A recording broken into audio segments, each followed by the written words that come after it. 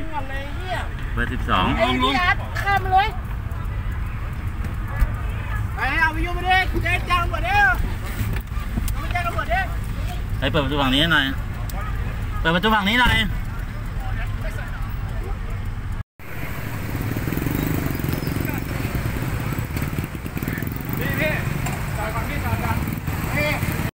ว้าเขาเรียกเขามาเท่าไหร่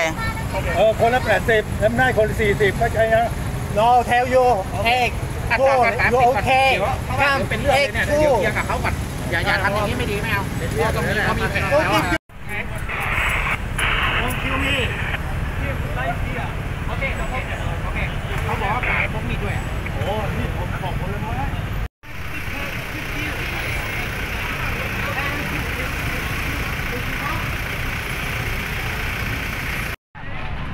มันไม่ยอมต่างชาติไม่ยอม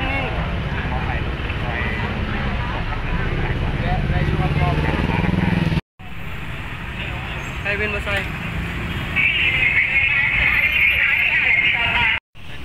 ท่านก็ตกลงกับคนแปดสิบใช่ไหมมาถึงคนให้คนสี่สิบอ๋อคือเราตกลงกับเขาว่าคนละ80บาทอ่ามาให้คนสี่สิบแต่มาถึงเขาจ่ายแค่คนละ40เออนะมันจะเอาไม่ง่ายไม่ง่ายเป็นรู้มั้งอะสองต่อหนึ่งก็ใช่อ๋อโอเคเออทำไมทำไมเอ่อวินมอเตอร์ไซค์ทำไมแท็กซี่ทำไมพวกพี่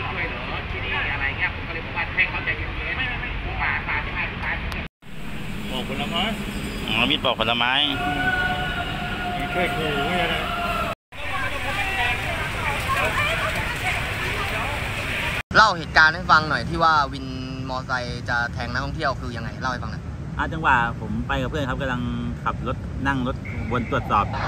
ว่าสถานการณ์พื้นที่ว่ามีการเล่นน้ำยังไง ก็จังหวะมาถึงช่วงบริเวณปากซอย6ทับหนึ่งฝั่งสายสองอะครับ ครับ ก็มีวินมอเตอร์ไซค์คันหนึ่งขับมาจอด จอดเพื่อส่งลูกค้า แต่จังหวะที่จอดส่งลูกค้าปั๊บเหมือน น่าจะทะเลาะกันหรือน่าจะตกลงราคากันไม่ได้หรือตัวอย่างนะครับ แล้วเกิดการแม่ไม้มวยไทยนะครับอ๋อต่อยกันแล้วเหรอตอนแรกก็มีการไม้ไม้มวยไทยก่อนครับครับปากเสียงแล้วไม้ไม้มวยไทยสักพักก็ เหมือนว่าคุยกันไม่ลงตัวก็วินมอเตอร์ไซค์ก็ใช้จังหวะเผลอชักมีดออกมาครับ แล้วก็ไล่แทงไล่แทงนักท่องเที่ยวเลยเหรอได้ไล่แทงแล้วนักท่องเที่ยวก็วิ่งหนีออกมาครับก็มีทั้งรถน้ำแข็งที่ขวางอยู่ก็ช่วยห้าม กี่คนนะครับนักท่องเที่ยวนักท่องเที่ยวมากันสองคนครับ ผู้หญิงหเป็รืนอผู้ชายเป็นชายชายไทยชายต่างชาติสองรายครับ เป็นผู้ชายทั้งคู่ใช่ครับอืมครับแล้วงั้จันงหวะก็มีรถน้ำแข็งก็ช่วยลงมาห้ามแล้วก็ชาวบ้านแล้วก็มีนักท่องเที่ยว เจ้าหน้าที่แถวนั้นช่วยกันนะครับ ครับ แล้วพอห้ามกันได้ก็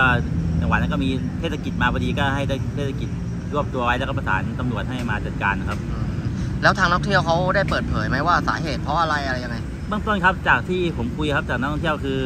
เขาได้นั่งรถมาแล้วเขาได้คุยกับวินว่า ขอค่ารถเนี่ยเท่าไหร่ยังไง แล้ว ต่างชาติเขาบอกว่า 80 บาทอยู่โอเคไหม แล้วก็เหมือนวินพยักหน้าให้ แล้วก็เขาเลยขึ้นรถมา พอมาถึงปลายทางแล้วเขาก็จะลงแล้วเขาก็จ่ายให้ 80 บาท แต่วินเหมือนไม่พอใจทำนองนั้นนะครับว่า น่าจะเหมือนทำนองวินน่าจะเข้าใจคุยกัว่านไม่คนรู้ละเรื่อง80 บาท หรืออะไรอ๋อน่าจะสื่อสารกันไม่รู้เรื่องครับ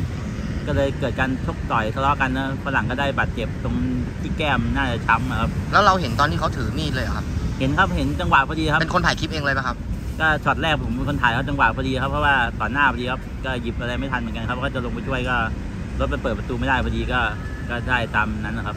อืมแล้วเรารู้สึกไงกับเหตุการณ์ที่เกิดขึ้น อยากฝากอะไรถึงกลุ่มวินมอเตอร์ไซค์รับจ้างไหมคือในการปฏิบัติต่อวินลูกค้าดีก็มีครับ แต่วินอย่างนี้ก็มีเยอะครับเห็นข่าวบ่อยครับ แต่ว่าก็เราไม่อยากให้เกิดปัญหาครับเพราะว่าช่วงนี้นักท่องเที่ยวมาบ้านเราเยอะครับ เพราะว่าเศรษฐกิจกำลังรุ่งนะครับก็ฝากก็อย่ามีเรื่องมีอะไรครับคุยกัน ดีๆกันดีกว่าครับ